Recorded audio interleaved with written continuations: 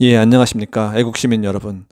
오늘 제가 한 가지 나누고자 하는 내용이 혹시 이 기사를 보신 분도 있으시겠지만 어, 한국일보에서 나온 기사입니다. 어, 포천 산정호수에 그 기, 저도 몰랐었는데 그 김일정 별 김일성 별장이 있었다고 하네요. 근데 지금 그것이 낡고 거의 다 무너져 가고 있는데 그것을 다시 복원을 한다고 하는 그 기사가 나왔습니다. 그래서 이 기사를 좀 읽어드리면서 제 생각과 어, 마음을 좀 나눠볼까 합니다. 경기도 포천시가 표지판만 덩그러니 남아있는 산정호수 김일성 별장 복원에 나선다. 남북 평화 무드 속에 접경 지역 지자체가 김정은 위원장의 조부인 김일성 전 주석의 흔적 찾기에 뛰어든 점에서 주목을 끈다. 11일 포천시에 따르면 시는 2022년 준공을 목표로 김일성 별장 복원 사업을 추진 중이다. 남북 평화 협력 시대를 여는데 앞장서고 지역 관광 활성화를 꾀하겠다는 구상이다. 사업비는 우선 54억 원을 책정했다. 이 돈으로 부지 매입과 함께 별장 한 채를 복원하고 김일성 관련 유물 등도 구입하거나 제작해 전시할 계획이다. 김일성 관련 유물들을 제, 어, 판매하거나 전시한다니 참 좀 그렇지 않습니까? 시는 이를 위해 올해 경기도에 도비 지원 사업으로 사업비를 신청할 예정이며 이르면 내년 초에 기본 계획의 연구 용역에도 착수할 계획이다. 역사적 고증 작업도 함께 진행한다. 좀 기가 막히지 않습니까? 아니 여 우리나라가 북한도 아니고 명목은 허울 좋게 뭐 관광 남북 평화 모드에 맞춘 어떤 관광 활성화를 꾀하겠다는 구상이라고 하는데 54억 원이라는 우리 세금을 가지고 김일성 이 사람을 알리고 홍보하는 이런 걸 왜 만드는 건지 이해를 할 수 없습니다. 김일성이 어떤 사람입니까? 6.25 전쟁을 통해서 거의 300에서 600만 명에 가까운 사람들을 죽게 만들었던 전범입니다. 전범. 전범의 수괴입니다. 독일로 치자면은 히틀러의 기념관을 만들겠다는 거와 똑같은 거예요. 왜 이런 미친 짓을 할까요? 예, 끝까지 한번 그래도 읽어보겠습니다. 시가 복원을 추진 중인 별장터는 영북면 산정리 산정호수 전망대 부지 1700제곱미터이다. 이미 1000제곱미터는 매입을 완료했다. 호수에서 불과 직선 거리로 10여 미터밖에 떨어져 있지 않다. 이곳은 김일성 전 주석이 1945년 광복 이후 별장 개념으로 이용하며 농업 경영을 관장하고 빼어난 풍광을 즐긴 곳으로 유명하다.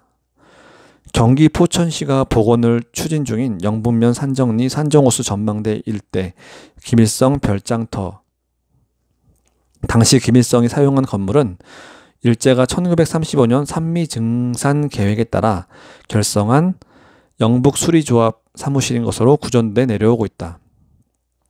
수리조합은 경기 북부 지역 대표 곡창지대인 한탄강 평야에 농업 용수를 공급하던 산정호수의 용수를 관장하던 곳이다. 광복 이후 농업 경영이 중요했던 만큼 김일성은 이곳에 자주 기거하며 산정호수 용수 등을 감독한 것으로 알려져 있다. 시는 이런 내용의 유래를 잘 아는 지역 주민들의 증언을 토대로 2016년 이곳에 별장터 표지판을 세웠다. 포천 산정호수 일대는 1950년 한국 전쟁 이전까지 북한 땅이었다. 전쟁 이후 38선이 그어지면서 현재의 포천 지역으로 수복됐다. 그러나 이후 별장은 철거돼 자취를 감췄으며 지금은 표지판만 하나 남아 있다. 시 관계자는 수려한 경치의 산정호수는 매년 160만 명의 관광객이 찾을 만큼 관광 명소라며 김일성 별장이 전설처럼 표지판만 담겨져 있어 관광, 관광객들이 많이 아쉬워해 남북평화 화해 시대를 맞아 복원을 추진, 관광객 유치와 함께 지역 경제 활성화를 꾀할 계획이라고 말했다. 대체 시 관계자가 어떤 사람인지 모르겠습니다만 160만 명의 관광객이 찾을 만큼 관광 명소인데 누가 이런 얘기를 했는지 모르지만 김일성 별장이 전설처럼 표지판만 남아, 남겨져 있어 관광객들이 많이 아쉬워한답니다. 많이 아쉬워할까요, 정말로? 아쉬워해야 할 만한 인물입니까? 참, 전설처럼 표지판만 남아 있답니다. 표현도. 전설입니까? 김일성이? 아, 이 시대가 참 악하고 폐역한 시대입니다. 여러분, 이승만 대통령이나 박정희 대통령 기념관을 짓겠다고 하는 얘기를 전 들어본 적이 없거든요. 정부에 나서서.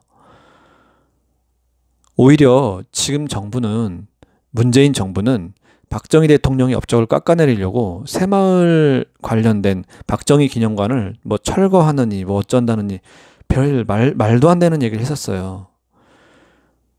아니, 수백만 명을 죽게 만든 이 전범을, 전범의 수괴를, 그를 위한 별장을, 어? 관광객들이 아쉬워하기 때문에, 많이 아쉬워하기 때문에 짓겠다고요? 그 기념관을 짓고, 거기에 뭐, 그럼 대체 어떤 걸 영상을 틀어주겠습니까? 상상이 가십니까? 우리 아이들이 볼 겁니다, 여러분.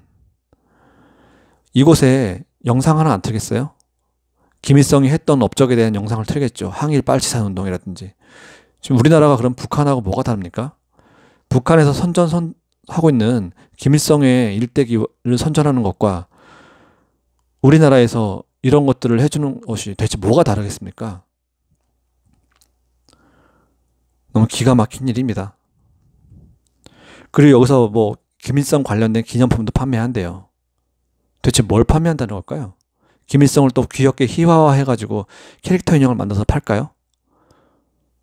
뭐 주체 사상에 관련된 그런 책들을 팔까요? 참 기가 막히지 않습니까, 여러분? 지금 우리가 이런 시대에 살고 있습니다. 아, 정말 우리의 대한민국 건국의 국부이신 이승만 대통령에 대해서는 지금 현재 뭐 동상 하나 갖고도 철거 한 해 만에 뭐 개소리를 하면서 이런 걸, 이 김일성이 이 전범민 새끼를 이렇게 기념관을 만들겠다는 게 수도권 일대에다가 말이 됩니까, 여러분? 여러분 이 사실을 아신다면 저도 내일 포천시 쪽에다가 항의 전화를 하겠지만 여러분 항의 전화를 많이 하셔야 됩니다. 이거 그냥 이대로 그냥 한심하다, 안 됐다, 어이가 없다 이렇게 보고 있으실 게 아니라 직접 전화를 하셔야 돼요. 우리의 뜻이 이렇지 않다는 걸, 우리는 이런 걸 원치 않는다는 걸 보여주셔야 됩니다. 아, 하루빨리 이런 말도 안 되는 상식이 안 통하는 일들이 이 땅에 사라지기를 다시 한번 이밤 바래봅니다. 여러분 오늘 이만 하고 마치겠습니다. 예, 감사합니다.